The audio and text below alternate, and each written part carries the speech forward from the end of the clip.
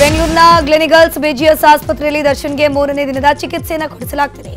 ದರ್ಶನ್ಗೆ ತೀವ್ರ ಬೆನ್ನು ನೋವು ಇರೋದ್ರಿಂದ L five, S one disc test, ಕಾಲು ನೋವು ಟೆಸ್ಟ್, ಮರಗಟ್ಟುವಿಕೆ ಟೆಸ್ಟ್, ಸ್ಪೈನಲ್ ಕಾರ್ಡ್ ಪರೀಕ್ಷೆ ಸೇರಿ ಹಲವು ಬಗೆಯ ಬಗೆಯ ಪರೀಕ್ಷೆ ನಡೆಸಲಾಗ್ತಿದೆ.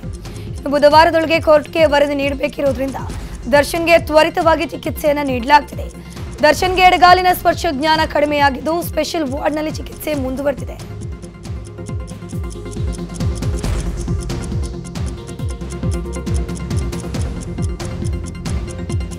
ಕ್ಲಿನಿಕಲ್ಸ್ ಬಿಜಿಎಸ್ ಆಸ್ಪತ್ರೆಯಲ್ಲಿ ಚಿಕಿತ್ಸೆ ಪಡೀತಾ ಇರುವ ಆರೋಪಿ ನಟ ದರ್ಶನ್ಗೆ ಬಹುತೇಕ ಸರ್ಜರಿ ಫಿಕ್ಸ್ ಅಂತಾನೆ ಹೇಳಲಾಗ್ತಿದೆ. ತೀವ್ರ ಬೆನ್ನು ನೋವು ಇರುವಂತಹ ಹಿನ್ನೆಲೆಯಲ್ಲಿ ಆಪರೇಷನ್ ಮಾಡೋದಕ್ಕೆ ವೈದ್ಯರು ನಿರ್ಧಾರ ಮಾಡಿದ್ದಾರೆ ಎನ್ನಲಾಗಿದೆ. ಫಿಸಿಯೋಥೆರಪಿಯಿಂದ ಗಾಯ ವಾಸಿಯಾಗಲು ತಡವಾಗುತ್ತೆ.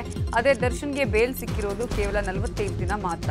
ಹೀಗಾಗಿ ಆಪರೇಷನ್ ಮಾಡಿಸಿಕೊಳ್ಳಲು ದರ್ಶನ್ ತೀರ್ಮಾನ ಮಾಡಿದ್ದಾರೆ ಎನ್ನಲಾಗಿದೆ. ವಕ್ಫ್ ಬೋರ್ಡ್ ಆಸ್ತಿ ವಿವಾದ ರಾಷ್ಟ್ರ ಮಟ್ಟದಲ್ಲಿ ಸುದ್ದಿ ಆಗ್ತಿದ್ದಂತೆ ಎಚ್ಚೆತ್ತಂತಹ ಸಿಎಂ ಸಿದ್ದರಾಮಯ್ಯ. ಕೂಡಲೇ ರೈತರಿಗೆ ನೀಡಿರುವ ನೋಟಿಸ್ ವಾಪಸ್ ಪಡೆಯುವಂತೆ ಖಡಕ್ ಸೂಚನೆ ಕೊಟ್ಟಿದ್ದಾರೆ. ಈ ಕುರಿತು ಅಧಿಕಾರಿಗಳ ಜೊತೆ ಮಹತ್ವದ ಸಭೆಯ ನಡೆಸಿದ ಸಿಎಂ.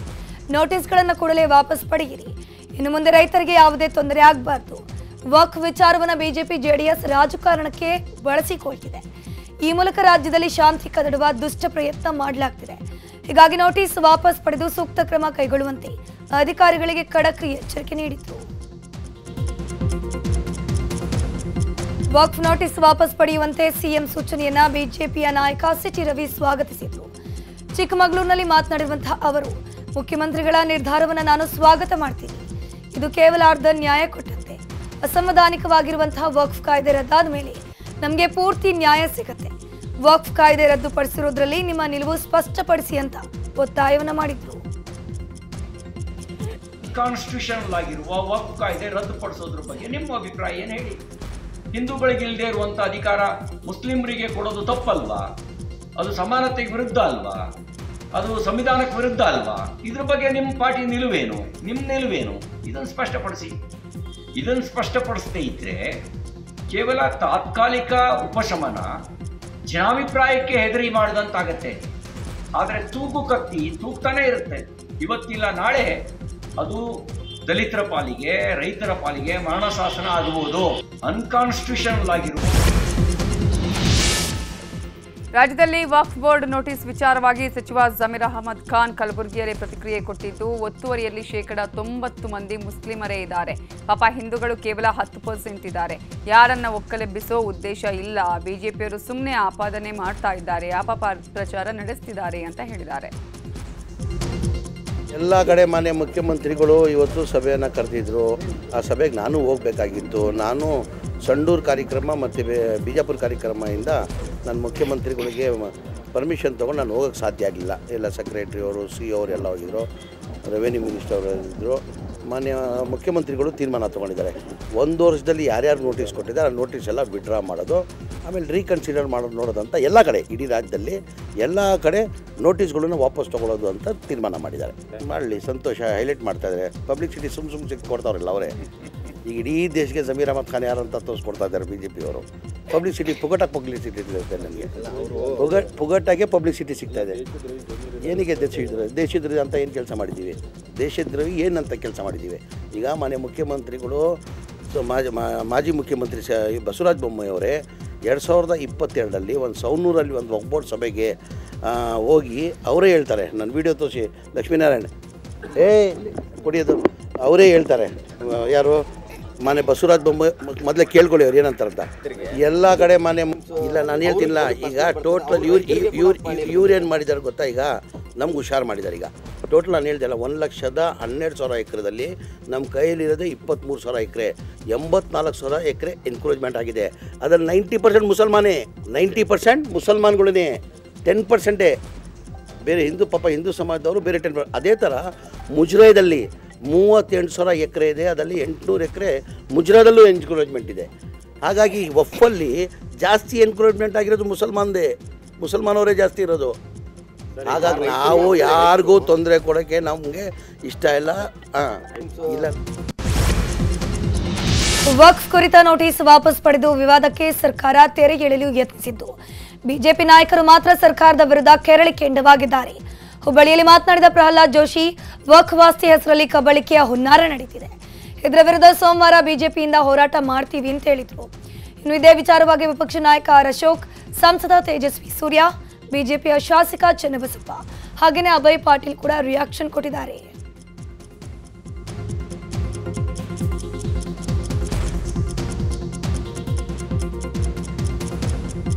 ಮಾಡ್ತೀವಿ, ಯಾಕಂದ್ರೆ ಅತ್ಯಂತ ಬೇಜವಾಬ್ದಾರಿತವಾಗಿ ಸರ್ಕಾರ, ಸರ್ಕಾರದ ಮಂತ್ರಿಗಳು ಮಾತನಾಡ್ತಾ ಇದ್ದಾರೆ. ಏನು ಹಾವೇರಿಯೊಳಗೆ ಆದೇಶ ಹೊರಡಿಸಿದ್ದಾರೆ. ಉತ್ತಾರಗಳನ್ನು ಚೆಕ್ ಮಾಡ್ಕೋರಿ ಆರ್ ಟಿ ಸಿಗಳನ್ನು ಯಾಕಂದ್ರೆ ಗ್ರಾಮ ಪಂಚಾಯತಿಗೆ ನಿನ್ನೆ ಜಿಲ್ಲಾ ಪಂಚಾಯತ್ ಸಿ ಒ ಹಾವೇರಿಯವರು ಆದೇಶ ಕೊಟ್ಟಾರೆ. ಅದು ಫೈನಲ್ ಅದ. ಅದಾದ ನಂತರ ಈ ಜಿಲ್ಲಾ ಪಂಚಾಯಿತಿ ಜಿಲ್ಲಾ ಅಧಿಕಾರಿಯ ಆದೇಶದ ನಂತರ ಅಲ್ಲಿನ ಹೆಸರುಗಳನ್ನು ತೆಗಿಬೇಕು ಅಂತಂದ್ರೆ ಸಾಧ್ಯವೇ ಇಲ್ಲಿದೆ. ನಾನು ಕಾನೂನು ಸಲಹೆಗಾರನ್ನು ಒಪಿನಿಯನ್ನು ತೆಗೆದುಕೊಂಡಿನಿ. ಅಲ್ಲಿ ಪಿ ಡಿ ಒಗಳಿಗೆ ಆದೇಶ ಕೊಟ್ಟರು ಅವರು. ಗ್ರಾಮ ಪಂಚಾಯಿತಿ ಕಾರ್ಯದರ್ಶಿಗಳಿಗೆ ಆದೇಶ ಕೊಟ್ಟರು. ಯಾವ ಕಾರಣಕ್ಕೂ ಇದನ್ನು ಬದಲಾವಣೆ ಮಾಡಬಾರದು ಅಂತ. ಗಟ್ಟಿ ಧೈರ್ಯದಿಂದ ಕಬ್ಜಾದಲ್ಲಿ ಇದ್ದಾರೆ ಅನ್ನೋದು ಬಿಟ್ಟರೆ ಭಾರಿ ದೊಡ್ಡ ಡೇಂಜರಸ್ ಒಂದು ಈ ಕಾನೂನು ಮತ್ತು ಇದರ ದುರುಪಯೋಗವನ್ನು ಪಡಿಸ್ಕೊಳ್ತಾ ಇದ್ದಾರೆ. ಆ ಮಂಡೇ ನಾವು ಹೊರ ಈಗಾಗಲೇ ತನಿಖಾ ವರದಿಯಲ್ಲಿರೋ ರೀತಿ ಲಕ್ಷಾಂತರ ಕೋಟಿ ಲೂಟಿ ಮಾಡಿದ್ದಾರೆ.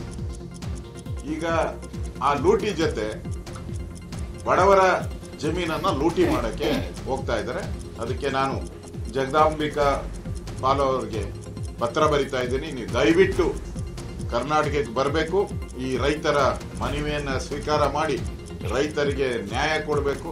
ಇಲ್ಲ ಅಂತ ಹೇಳಿದ್ರೆ ದೇವಸ್ಥಾನ, ಮಠ, ಮಂದಿರಗಳು, ರೈತರು, ಬಡವರು, ಎಸ್ ಸಿ ಎಸ್ ಟಿ ಜನಾಂಗ ಯಾರು ಉಳಿಯಕ್ಕೆ ಸಾಧ್ಯನೇ ಇಲ್ಲ. ಎಲ್ಲ ಬೋರ್ಡ್ ಆಸ್ತಿ ಬರೀತಾರೆ ಅಂತ ಹೇಳಿ ಪತ್ರನೂ ಕೂಡ ನಾವು ಬರೀತೀರಿ. ನಮ್ಮ ಎರಡ್ ಸಾವಿರದ ಹದಿಮೂರರಲ್ಲಿ ಇದಕ್ ಇನ್ನೊಂದು ಹೆಜ್ಜೆ ಮುಂದೆ ಹೋಗಿ ಸೆಕ್ಷನ್ ಫಾರ್ಟಿ ಅನ್ನೋದನ್ನ ಸೇರಿಸೋದು ಆ ಸೆಕ್ಷನ್ ಫಾರ್ಟಿಯಲ್ಲಿ ವಕ್ಫ್ ಬೋರ್ಡಿಗೆ ಯಾವ ಜಾಗದ ಬಗ್ಗೆ ಆದ್ರೂ, ವಕ್ಫ್ ಬೋರ್ಡಿಗೆ ಈ ಜಾಗ ನಮ್ದು ಅಂತ ಅನ್ಸಿದ್ರೆ ರಾಜ್ಯ ಸರ್ಕಾರಕ್ಕೆ ಹೇಳಿ ಗೆಜೆಟ್ ನೋಟಿಫಿಕೇಶನ್ ಅನ್ನು ಮಾಡಿಸುವಂತ ಅಧಿಕಾರವನ್ನು ಕೊಡಿಸುತ್ತೆ ನಾನು ರಾಜ್ಯದ ರೈತರಲ್ಲೂ ಮನವಿ ಮಾಡ್ತೀನಿ, ಕೈ ಮುಗಿದು ಮನವಿ ಮಾಡ್ತಿದ್ದೀನಿ. ಈ ಕಾಂಗ್ರೆಸ್ನವರು ನಮಗೆ ಫ್ರೀ ಬಸ್ ಕೊಡ್ತಾರೆ, ಎರಡು ಸಾವಿರ ರೂಪಾಯಿ ಅಕೌಂಟಿಗೆ ಹಾಕ್ತಾರೆ, ಈ ತರ ಅವ್ರ ಆಮಿಷ ಕೊಡ್ತಾರೆ ಅಂತ ನಂಬಿ, ನಾವು ಅವ್ರಿಗೆ ಓಟ್ ಹಾಕಿದ್ರೆ ನಮ್ಮ ಜಮೀನು, ದೇವಸ್ಥಾನ, ಮಠ, ಮಾನ್ಯ ಎಲ್ಲದನ್ನು ತಗೊಂಡೋಗಿ ಸಾವಿರ ಕೊಟ್ಬಿಡ್ತಾರೆ. ಎರಡ್ ಸಾವಿರದ ಹದಿಮೂರನೇ ದಿನ. ನಿಜವಾಗ್ಲೂ ಅಲ್ಲಾಹನ ಬಗ್ಗೆ ನಿಮ್ಗೆ ಪ್ರೀತಿ ಇದ್ರೆ, ನಿಮ್ಮ ದೇವರು ಅಲ್ಲಾಹನ ಬಗ್ಗೆ ನಿಮಗೆ ಬಹಳ ಗೌರವ ಇದ್ರೆ ನೀನು ಬಂಗ್ಲೆನ ಬರೆದು ಕೊಟ್ಬಿಡು ಅಂತ ಹೇಳಿ. ಇದೇ ರೀತಿ ತಮ್ಮ ಕಾರ್ಯ ಮುಂದುವರಿಸಿದ್ದೇ ಆದ್ರೆ ಈ ದೇಶದೊಳಗಡೆ, ಈ ರಾಜ್ಯದೊಳಗಡೆ ಜಮೀರ್ ಅಂತವರನ್ನ ಹುಡುಕಿ ಹುಡುಕಿ ಹೊಡೆಯುವಂತ ಕೆಲಸವನ್ನ ಮಾಡಲಿಕ್ಕೆ ಪ್ರಾರಂಭ ಆಗತ್ತೆ. ಅದಕ್ಕೆ ತಾವು ಕಾರಣೀಭೂತರಾಗ್ತೀರಿ. ಓಡಾಡ್ಸ್ಕೊಂಡು ಹೊಡೆಯುವಂತ ಸ್ಥಿತಿ ನಿರ್ಮಾಣ ಆಗಿಬಿಡುತ್ತೆ ನಿಮಗೆ. ಕರ್ನಾಟಕ ರಾಜ್ಯದಲ್ಲಿ ಕಾಂಗ್ರೆಸ್ ಸರ್ಕಾರ ಆಡಳಿತಕ್ಕೆ ಬಂದ ನಂತರ ವಿಶೇಷವಾಗಿ ಜಮೀರ್ ಅಹ್ಮದ್ ಖಾನ್ ಅವರ ಮಂತ್ರಿ ಆದ ನಂತರ ರಾಜ್ಯದಲ್ಲಿ, ವಕ್ಫದಲ್ಲಿ ಏನು ಬಹಳಷ್ಟು ಆಸ್ತಿಗಳನ್ನು ವಕ್ಫ್ ಅಂತ ಹೇಳಿ ನಮೂದಿಸಿ, ಅದು ರೈತರ ಜಮೀನು ಇರ್ಬೋದು, ಮಠ ಮಂದಿರಗಳ ಜಮೀನುಗಳಿರ್ಬೋದು, ದೇವಾಲಯಗಳಿರ್ಬೋದು ಈ ವಕ್ಫ್ ಕಾಯ್ದೆ ಬರೋಕ್ಕಿಂತ ಮೊದಲಿದ್ದಂತಹ ಮಂದಿರಗಳಿರ್ಬೋದು ಅಥವಾ ಜಮೀನು ಆಸ್ತಿಗಳಿರ್ಬೋದು ಅದರನ್ನೆಲ್ಲ ವಕ್ಫ್ ಅಂತ ಹೇಳಿ ಮಾಡಿ, ಅವರಿಗೆಲ್ಲ ನೋಟಿಸ್ ಇಶ್ಯೂವನ್ನು ಮಾಡುವಂಥದ್ದು ಪ್ರಕರಣಗಳು ಪ್ರಾರಂಭ ಆಗಿದೆ ಕರ್ನಾಟಕ ರಾಜ್ಯದ ವಕ್ಫ್ ಆಸ್ತಿ ನೋಟಿಸ್ ವಾಪಸ್ ಪಡೆಯುವ ಬಗ್ಗೆ ಸರ್ಕಾರ ನಿರ್ಧರಿಸ್ತಾ ಇದ್ದಂತೆ ವಿಜಯಪುರದಲ್ಲಿ ರೈತರು ಸಂಭ್ರಮಾಚರಣೆ ಮಾಡಿದ್ದಾರೆ. ಜಿಲ್ಲಾಧಿಕಾರಿ ಕಚೇರಿ ಮುಂಭಾಗ ಸಿಹಿ ಹಂಚಿ ಸಂಭ್ರಮ ಪಟ್ಟರು ಇದಲ್ಲದೆ, ಈ ಬಗ್ಗೆ ನಿರಂತರವಾಗಿ ಸುದ್ದಿ ಬಿತ್ತರಿಸಿ ರೈತರ ಪರ ನಿಂತ ನೆಟ್ವರ್ಕ್ ಏಟೀನ್ಗೂ ರೈತರು ಧನ್ಯವಾದ ತಿಳಿಸಿದ್ದಾರೆ. ಏನೋ ಮಂತ್ರಿ ಬಂದು ಹೇಳಿದ ತಕ್ಷಣ ರಾತ್ರಿ ಹನ್ನೆರಡು ಗಂಟೆಗೆ ದಾಖಲೆ ಮಾಡಿದ್ರೆ ನಮ್ಮ ಹೋರಾಟ ಇವತ್ತು ಭಾಳ ದೀರ್ಘ ಪ್ರಮಾಣ ಹೋಯ್ತು. ಇದಕ್ಕೆ ಕಾರಣ ಅಂತಂದ್ರೆ ನ್ಯೂಸ್ ಏಟೀನ್ ಸೇರಿದಂತೆ ಉಳಿದ ಎಲ್ಲ ಮಾಧ್ಯಮದವರು ಕೂಡ, ದೃಶ್ಯ ಮಾಧ್ಯಮದವರು ಏನು ರಾಷ್ಟ್ರ ಮಟ್ಟದಲ್ಲಿ ಏನು ನಮ್ಮ ಹೋರಾಟವನ್ನು ಕೊಂಡೊಯ್ದರು, ಅವಾಗ ಸರ್ಕಾರಕ್ಕೆ ಚಳಿ ಜ್ವರ ಪ್ರಾರಂಭ ಆಯಿತು. ಇನ್ನು ನಾವು ಇದನ್ನು ಕಡಿಮೆ ಮಾಡದೇ ಇದ್ರೆ ಉಳಗಾಲ ತಿಳ್ಕೊಂಡು ತಕ್ಷಣ ಯಾವ- ಮುಖ್ಯಮಂತ್ರಿ ಆದೇಶ ಮಾಡಿದ್ದಾರೆ, ಇದು ಹೋರಾಟಕ್ಕೆ ನಮ್ಮ ಅಖಂಡ ಸಂಘ ಹಸಿರು ಸೇನೆಗೆ ಇದು ಸಂದ ಜಯ ಅಂತ ಹೇಳ್ಬೋದು. ಕರ್ನಾಟಕ ರಾಜ್ಯದಲ್ಲಿ ರೈತರ ಜಮೀನಿಗೆ ಒಕ್ಕೆಂಬ ಭೂತ ಏನು ಅಂಟುಕೊಂಡಿತ್ತು, ಅದರ ವಿರುದ್ಧವಾಗಿ ನಾವು ಕಂಟಿನ್ಯೂ ರಾತ್ರಿ ಹಗಲು ಎನ್ನದೇ ರೈತ ಸಂಘಟನೆ ಜೊತೆ ಹೋರಾಟ ಏನು ಮಾಡಿದ್ವಿ. ನಿರಂತರವಾಗಿ ತಾವೇನು ಸುದ್ದಿ ಪ್ರಚಾರ ಮಾಡಿದ್ರಿ ಏನು ಕರ್ನಾಟಕ ಸರ್ಕಾರ ಎಚ್ಚೆತ್ತುಕೊಳ್ಳುವಂಥ ಕಾರ್ಯಕ್ರಮ ತ ಹಾಕೊಂಡ್ರಿ. ಅದಕ್ಕೆ ಪೂರಾ ರೈತ ಕೋಟಿ ಕುಲಕೋಟಿಯಿಂದ ತಮಗೆ ಧನ್ಯವಾದ ತಿಳಿಸುತ್ತೆ ಇವತ್ತೇನು ನಮ್ಮ ಕರ್ನಾಟಕ ರಾಜ್ಯದ ಮುಖ್ಯಮಂತ್ರಿಗಳು ನಮ್ಮ ಉಸ್ತುವಾರಿ ಸಚಿವ ಸಚಿವರಾದ ಎಂ ಬಿ ಪಾಟೀಲ್ ಸಾಹೇಬರಿಗೂ ಈ ಮೂಲಕ ಧನ್ಯವಾದ ತಿಳಿಸ್ತೀನಿ.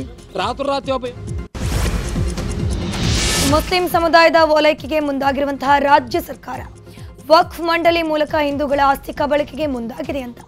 ಮಾಜಿ ಸಚಿವ ಪ್ರಭು ಚೌಹಾಣ್ ಆಕ್ರೋಶವನ್ನು ವ್ಯಕ್ತಪಡಿಸಿದರು. ಈ ಬಗ್ಗೆ ಬೀದರ್ನಲ್ಲಿ ಮಾತನಾಡಿರುವಂತಹ ಅವರು, ರಾಜ್ಯದಲ್ಲಿ ಕಾಂಗ್ರೆಸ್ ಸರ್ಕಾರ ಅಸ್ತಿತ್ವಕ್ಕೆ ಬಂದಾಗಿನಿಂದ ಅಭಿವೃದ್ಧಿ ಮಾಡುವುದನ್ನು ಬಿಟ್ಟು ಒಂದು ಸಮುದಾಯಕ್ಕೆ ತೃಪ್ತಿಪಡಿಸುವ ಕೆಲಸ ಏನೆಲ್ಲ ಮಾಡಬೇಕು ಆ ಕೆಲಸವನ್ನ ಕಾಂಗ್ರೆಸ್ ಸರ್ಕಾರ ಮಾಡ್ತಿದೆ. ಕಾಂಗ್ರೆಸ್ ಮತ್ತು ಮುಸ್ಲಿಂ ಸಮುದಾಯಗಳು ಅಣ್ಣ ತಮ್ಮ ಇದ್ದ ಹಾಗೆ.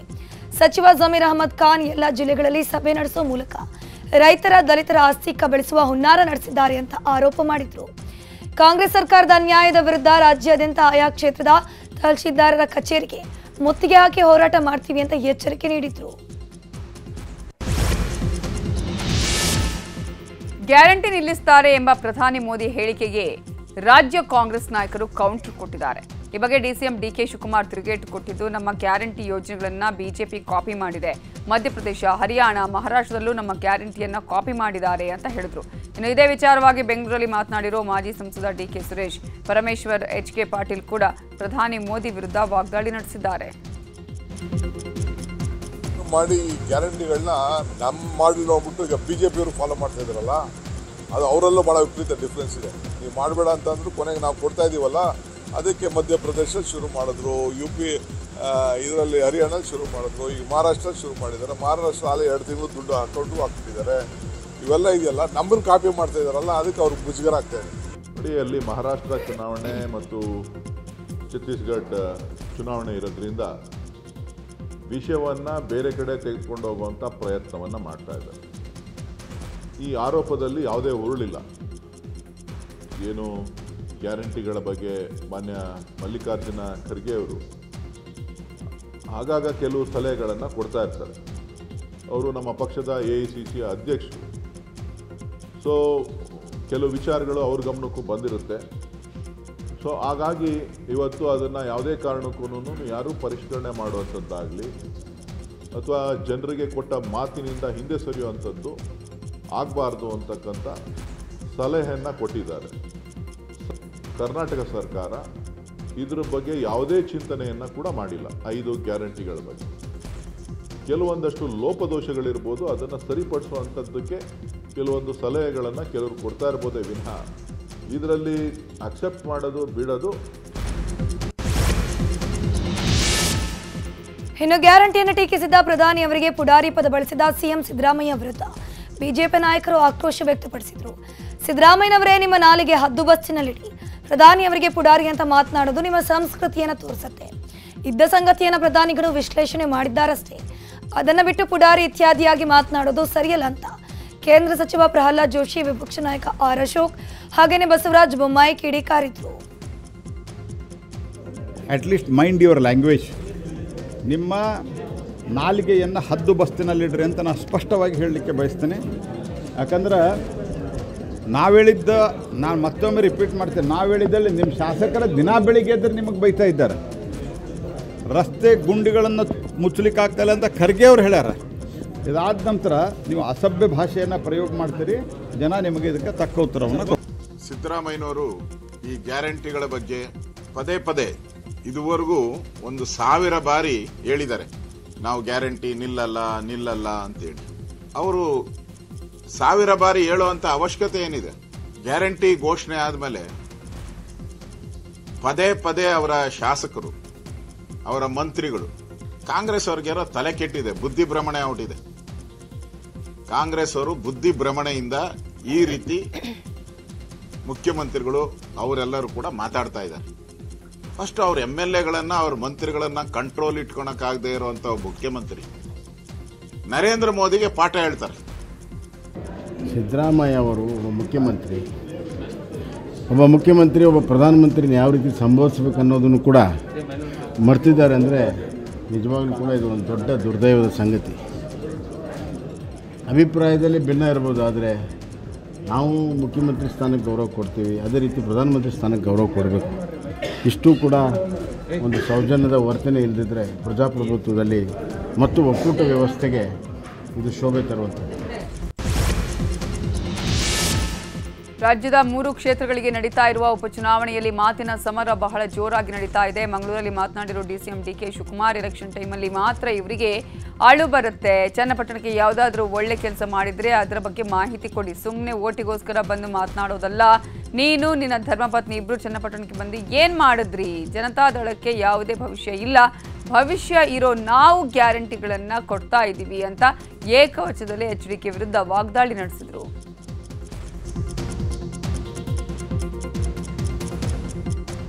ಅಳು ಎಲ್ಲ ಬರೋದು ಎಲೆಕ್ಷನ್ ಟೈಮಲ್ಲಿ ಜನರು ಹತ್ರಲ್ಲ ಮಿಸ್ಟರ್ ಕುಮಾರಸ್ವಾಮಿ. ಒಂದು ರಾಷ್ಟ್ರ ಧ್ವಜ ಹಾಸಕ್ಕೆ ನಿನ್ನ ಅವಧಿಯಲ್ಲಿ ರಾಮನಗರಕ್ಕೂ ಹೋಗಲಿಲ್ಲ, ಚನ್ನಪಟ್ಟಣಕ್ಕೂ ಹೋಗಲಿಲ್ಲ.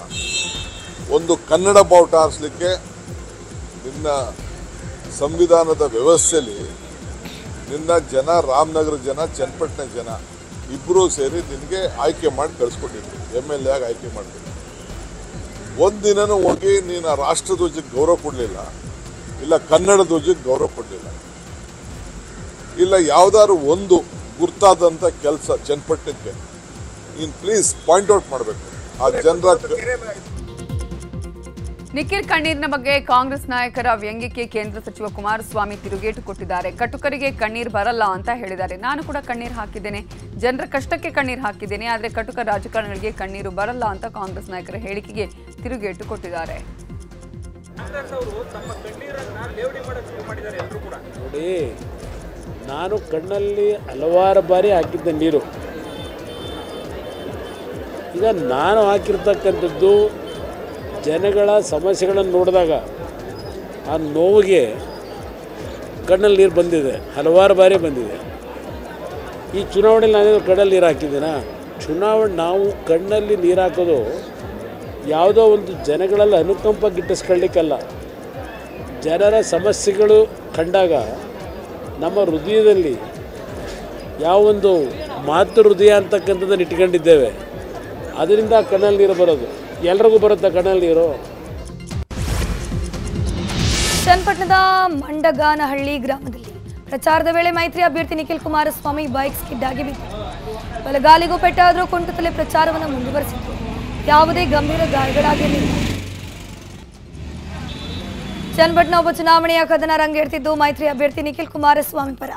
ಕೇಂದ್ರ ಸಚಿವ ವಿ ಸೋಮಣ್ಣ ಚನ್ನಪಟ್ಟಣದ ವಿವಿಧ ಭಾಗದಲ್ಲಿ ಪ್ರಚಾರವನ್ನು ನಡೆಸಲಿದ್ದಾರೆ. ಒಂದ್ ಕಡೆ ಎಚ್ ಡಿ ಕುಮಾರಸ್ವಾಮಿ ಪ್ರಚಾರವನ್ನ ಮಾಡ್ತಿದ್ರೆ, ಈಗ ಸೋಮಣ್ಣ ಕೂಡ ನಿಖಿಲ್ ಪರವಾಗಿ ಪ್ರಚಾರವನ್ನ ಮಾಡಲಿದ್ದಾರೆ. ಚನ್ನಪಟ್ಟಣದ ಲಿಂಗಾಯತ ವಿರಕ್ತ ಮಠಕ್ಕೆ ಭೇಟಿ ನೀಡಿ, ನಂತರ ಈಗಲೂರು ಸೇರಿ ಹಲವೆಡೆ ಪ್ರಚಾರವನ್ನ ನಡೆಸುತ್ತಾರೆ ಹಾವೇರಿ ಬೈ ಎಲೆಕ್ಷನ್ನಲ್ಲಿ ಮಗನಿಗೆ ಟಿಕೆಟ್ ಕೊಟ್ಟಿಲ್ಲ ಅಂತ ಕಾಂಗ್ರೆಸ್ ಪಕ್ಷದ ವಿರುದ್ಧವೇ ರೆಬಲ್ ಆಗಿದ್ದ ಮಂಜುನಾಥ್ ಕುನ್ನೂರ ಬಂಡಾಯವಾಗಿ ನಾಮಪತ್ರ ಸಲ್ಲಿಕೆ ಮಾಡಿದ್ರು, ಆದರೆ ನಾಮಪತ್ರ ತಿರಸ್ಕೃತಗೊಂಡಿತ್ತು. ಇದೀಗ ಮಂಜುನಾಥ್ ಕುನ್ನೂರ ನಿವಾಸಕ್ಕೆ ಕಾಂಗ್ರೆಸ್ ನಾಯಕರು ಆಗಮಿಸಿದ್ದಾರಂತೆ. ಆ ಭಾಗದ ಪ್ರಭಾವಿ ಪಂಚಮಸಾಲಿ ನಾಯಕರಾಗಿ ಸಾವಿರಾರು ಬೆಂಬಲಿಗರನ್ನ ಮಂಜುನಾಥ್ ಕುನ್ನೂರ ಹೊಂದಿದ್ದಾರೆ. ಈಗ ಆ ಮತಗಳು ಕೈತಪ್ಪಿ ಹೋಗುವ ಆತಂಕ ಎದುರಾಗಿದ್ದು ಭಿನ್ನಮತ ಶಮನ ಮಾಡೋದಕ್ಕೆ ಕಾಂಗ್ರೆಸ್ ನಾಯಕರು ಇನ್ನಿಲ್ಲದ ಕಸರತ್ತು ಮಾಡ್ತಿದ್ದಾರೆ. ಈ ಹಿನ್ನೆಲೆ ಮಂಜುನಾಥ್ ಕುನ್ನೂರ ನಿವಾಸಕ್ಕೆ ಆಗಮಿಸಿದ ನಾಯಕರು ಭಿನ್ನಮತ ಮರೆತು ಕಾಂಗ್ರೆಸ್ ಅಭ್ಯರ್ಥಿಯನ್ನು ಗೆಲ್ಲಿಸುವಂತೆ ಮನವಿ ಮಾಡಿದ್ದಾರಂತೆ. ಹಾಸನಾಂಬೆ ದರ್ಶನೋತ್ಸವ ಕೊನೆಗೊಂಡಿದೆ. ನಿನ್ನೆ ಹೆಚ್ಚಿನ ಸಂಖ್ಯೆಯಲ್ಲಿ ಭಕ್ತರು ಆಗಮಿಸಿ ಸರತಿ ಸಾಲಲ್ಲಿ ನಿಂತು ದೇವಿಯ ದರ್ಶನ ಪಡೆದರು. ಇತ ಸಿದ್ದೇಶ್ವರ ಸ್ವಾಮಿಗೆ ಕೆಂಡೋತ್ಸವ ನಡೀತಿದೆ. ಕೆಂಡೋತ್ಸವದ ಬಳಿಕ ದೇವಿಗೆ ಪೂಜೆ ನೆರವೇರಲಿದೆ. ಮಧ್ಯಾಹ್ನ ಹನ್ನೆರಡು ಗಂಟೆಗೆ ಜಿಲ್ಲಾ ಉಸ್ತುವಾರಿ ಸಚಿವ ರಾಜಣ್ಣ ಹಾಗೂ ಗಣ್ಯರ ಸಮ್ಮುಖದಲ್ಲಿ ದೇವಾಲಯದ ಬಾಗಿಲು ಮುಚ್ಚಲಾಗುತ್ತೆ. ಮತ್ತೆ ಮುಂದಿನ ವರ್ಷ ದೇವಸ್ಥಾನದ ಬಾಗಿಲು ಓಪನ್ ಆಗಲಿದೆ.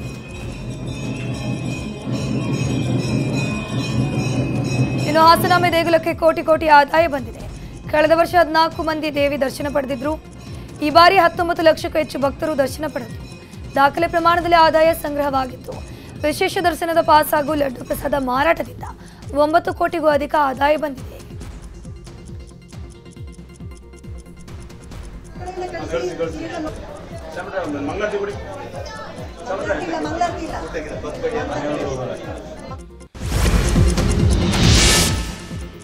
ರಾಜ್ಯದ ಹಲವೆಡೆ ವಾಕ್ ವಿವಾದ ನಡೀತಾ ಇದೆ, ಆದರೆ ಕೋಲಾರದಲ್ಲಿ ಬೇರೆಯೇ ಆರೋಪ ಕೇಳಿಬರ್ತಿದೆ. ಕೋಲಾರದ ದೊಡ್ಡ ಹಾಸಾಳ ಗ್ರಾಮದಲ್ಲಿರುವ ದೇವಾಲಯದ ಸ್ಥಳವನ್ನು ಒತ್ತುವರಿ ಮಾಡಿಕೊಂಡು ಖಬರಸ್ಥಾನ ನಿರ್ಮಾಣ ಮಾಡಿರುವ ಆರೋಪ ಕೇಳಿಬಂದಿದೆ. ದೊಡ್ಡ ಹಾಸಾಳ ಗ್ರಾಮದ ಸರ್ವೆ ನಂಬರ್ ಅರವತ್ತೆರಡರಲ್ಲಿ ಮರಿಯಮ್ಮ ಅನ್ನುವರು ಕೆರೆಯಂಚಿನಲ್ಲಿ ಆಂಜನೇಯ ಸ್ವಾಮಿ ದೇಗುಲ ನಿರ್ಮಿಸಿದ್ರು. ಆದರೆ ದೇಗುಲ ಚಿತ್ರಾವಸ್ಥೆ ತಲುಪಿದ ಕೂಡಲೇ ಆ ಜಾಗವನ್ನು ಕಬಳಿಸಿದ್ದಾರೆ ಅನ್ನೋ ಆರೋಪ ಕೇಳಿಬಂದಿದೆ.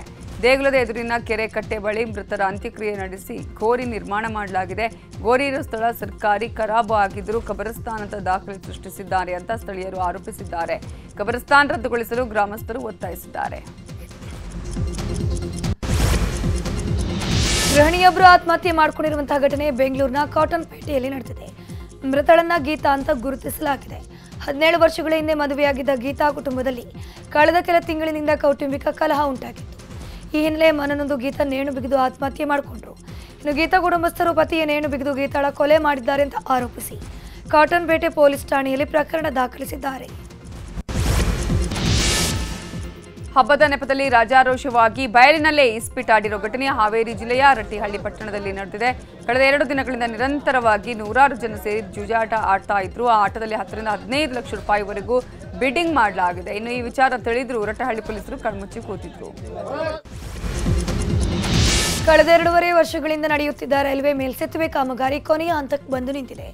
ಕೊಪ್ಪಳ ಕುಷ್ಟಗಿಗೆ ಹೋಗುವ ಮಾರ್ಗದ ರೈಲ್ವೆ ಗೇಟ್ ನಂಬರ್ ಐವತ್ತಾರಕ್ಕೆ ಸುಮಾರು ತೊಂಬತ್ತಾರು ಕೋಟಿ ರೂಪಾಯಿ ಕಾಮಗಾರಿ ನಡೀತಾ ಇದೆ. ಈಗಾಗಲೇ ಪೂರ್ಣಗೊಳ್ಳಬೇಕಿತ್ತು, ಆದರೆ ಯೋಜನೆಯ ಸ್ವರೂಪ ಬದಲಾಗಿದ್ದರಿಂದ ವಿಳಂಬವಾಗಿದ್ದು ಈ ಶೀಘ್ರದಲ್ಲೇ ಲೋಕಾರ್ಪಣೆಗೊಳ್ಳುವಂತ ಸಾಧ್ಯತೆ ಇದೆ.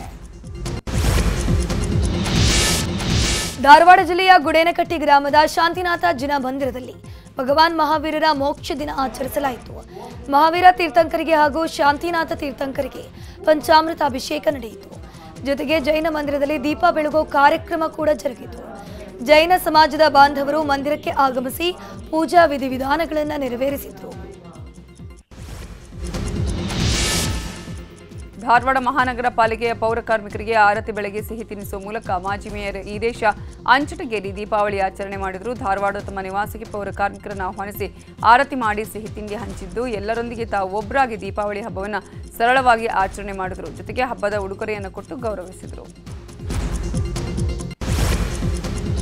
ಹ್ಯಾಟ್ರಿಕ್ ಹೀರೋ ಶಿವರಾಜ್ ಕುಮಾರ್ ವರ್ಷಪೂರ್ತಿ ಸಿನಿಮಾಗಳಲ್ಲಿ ಬ್ಯುಸಿ ಆಗಿದ್ರು ಹಬ್ಬ ಆಚರಣೆ ಅಂದ್ರೆ ಫ್ಯಾಮಿಲಿ ಜೊತೆ ಇದ್ದೇ ಇರ್ತಾರೆ. ಅದೇ ರೀತಿ ಈ ಬಾರಿ ದೀಪಾವಳಿ ಹಬ್ಬವನ್ನ ಗಾಜನೂರಿನಲ್ಲಿ ಆಚರಿಸಿದ್ರು. ಸೋದರತ್ತಿ ನಾಗಮ್ಮ ಅವರನ್ನ ಭೇಟಿಯಾಗಿ ಆರೋಗ್ಯವನ್ನು ವಿಚಾರಿಸಿದ್ರು. ಈ ವೇಳೆ ಶಿವಣ್ಣನನ್ನ ಕಂಡ ನಾಗಮ್ಮ ಭಾವುಕರಾಗಿ ಶಿವಣ್ಣ ಅವರನ್ನ ಅಪ್ಪಿ ಮುತ್ತಿಟ್ಟಿದ್ದಾರೆ. ಬಳಿಕ ಅಣ್ಣವರು ಹುಟ್ಟಿದ ಹಳೆ ಮನೆ ಮಂಟೇಸ್ವಾಮಿ ದೇಗುಲ ಸೇರಿದಂತೆ ಊರನ್ನ ಶಿವಣ್ಣ ದಂಪತಿ ಸುತ್ತಾಡಿದ್ರು. ನೆಚ್ಚಿನ ನಟನನ್ನ ಕಾಣಲು ಅಭಿಮಾನಿಗಳ ದಂಡೆ ಗಾಜನೂರಿನಲ್ಲಿ ಸೇರಿತ್ತು. ಡಿವೈನ್ ಸ್ಟಾರ್ ರಿಷಬ್ ಶೆಟ್ಟಿ ನಟಿಸಿ ನಿರ್ದೇಶನ ಮಾಡ್ತಾ ಇರುವ ಕಾಂತಾರ, ಪ್ರೀಕ್ವೆಲ್ ಚಿತ್ರಕ್ಕೆ ಒಬ್ಬೊಬ್ಬರೇ ಜೊತೆಯಾಗ್ತಿದ್ದಾರೆ. ಅದರಲ್ಲೂ ಹಾಲಿವುಡ್ನ ಖ್ಯಾತ್ ಸ್ಟಂಟ್ ಮಾಸ್ಟರ್ ಕಾಂತಾರ್ಗಾಗಿ ಕೆಲಸ ಮಾಡಲಿದ್ದಾರೆ. ಆರ್ ಆರ್ ಆರ್ ಚಿತ್ರಕ್ಕೆ ಸಾಹಸ ನಿರ್ದೇಶನ ಮಾಡಿದ ಆಕ್ಷನ್ ಡೈರೆಕ್ಟರ್ ಟೋಡರ್ ಲ್ಯಾಜ್ರೋವ್ ಇದೀಗ ಕಾಂತಾರ ಚಿತ್ರಕ್ಕೂ ಸಾಹಸ ನಿರ್ದೇಶನ ಮಾಡಲಿದ್ದಾರೆ. ಆ ನಿಮಿತ್ತ ಬಲ್ಗೇರಿಯಾದಿಂದ ಕುಂದಾಪುರಕ್ಕೆ ಆಗಮಿಸಿದ್ದಾರೆ. ರಿಷಬ್ ಶೆಟ್ಟಿಯನ್ನು ಭೇಟಿ ಮಾಡಿ ಚರ್ಚೆ ಮಾಡಿದ್ದಾರೆ. ರಿಷಬ್ ಶೆಟ್ಟಿ ಸೋಷಿಯಲ್ ಮೀಡಿಯಾದಲ್ಲಿ ಫೋಟೋವನ್ನು ಹಂಚಿಕೊಂಡಿದ್ದು, ಸಿನಿಮಾ ಮೇಲಿನ ನಿರೀಕ್ಷೆ ದುಪ್ಪಟ್ಟಾಗಿದೆ ಅಂತ ಹೇಳಿದ್ದಾರೆ.